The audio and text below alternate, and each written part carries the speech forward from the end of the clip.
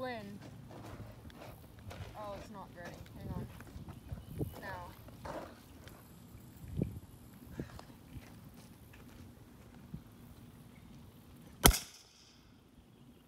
Oh, disappointing.